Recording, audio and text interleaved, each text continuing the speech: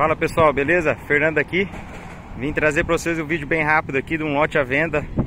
Uma oportunidade do lado do mercado de fato, tá? Fica na avenida aqui, perto do loteamento novo que tá saindo, o loteamento Riviera. O fórum fica ali na frente, tá?